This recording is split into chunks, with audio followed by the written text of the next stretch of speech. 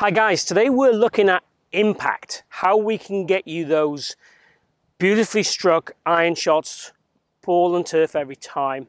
We're going to be focusing on a bit of elbow work, a bit of hand work, a bit of shaft lean that comes from that, and also a little bit of what the hips are doing also.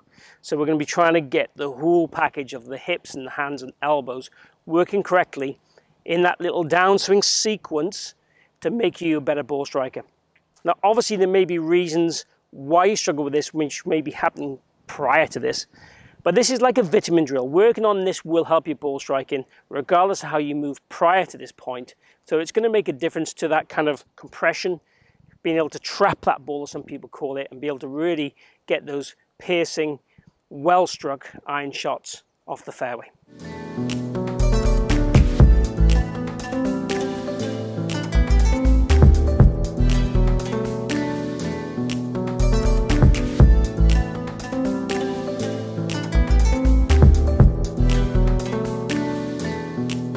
Okay, so we're doing one of my favorite drills at the moment, which is we're going to hold the golf club like a walking stick.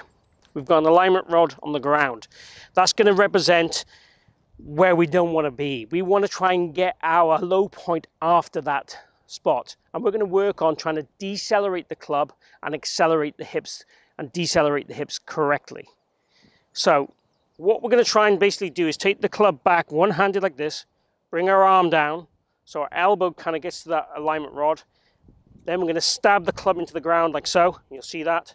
There's a decelerating, but there's definitely a downward angle and there's definitely a leaning of the shaft. Okay. Bear in mind when we are leaning the shaft, we are going to be supinating the arm to stop the ball going right. At the same time we're doing this, we're also going to be bumping the hip. So there's a lateral move to the hip, which happens before this. So the lateral movement of the hip, elbow, bump. We're posting the hip. We're extending this lead leg. Don't want to be hitting that stick though on the ground. That's because I was focusing on the leg. We want to be extending that leg, so straightening this leg. The legs change flex. Those things happen at the same time we get that stabbing action and decelerating action. If we get those things correct, we have the correct elbow function. The elbow is ahead of the hand. Then the hand flicks down going from its very extended state to less extended in order to deliver that shaft of the ball. The pelvis going into that slight lateral move helps to shift our pressure and our low point further forward. The decelerating of the club ensures the speed is in the best area to give us maximum distance. Hitting the club and stabbing it into the ground helps us get that ball and turf and that low point in the right spot. So this does everything for us. So the process would be Set up to your station. Swing it down slowly. Feel that low point. Add that lateral bump and straighten the leg. Ideally, you never hit the rod like that. So it's very rare I hit the rod, but again, taking the focus into a secondary area makes it harder. Move the rod across. Place the ball just left of the rod, depending on what club you got. So I've got a 7-iron in my hand, so I want this rod be level with the back of the ball and in the center of my stance. That's where I'd want it. Take two hands on the club. Feel the same thing.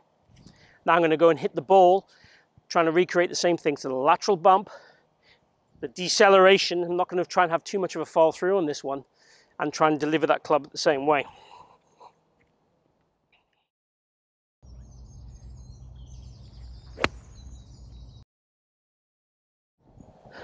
So nice divot. You'll see that after the rod. We want that every time. The flight in that ball was fantastic. I loved it. Obviously that wasn't a full, full swing, but that would definitely be where I'd start. And then I'd start to add more extension and rotation to add a bit more speed to it as we go through.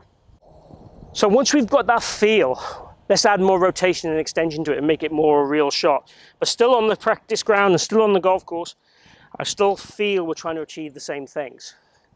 Now add more. Add more rotation, more extension.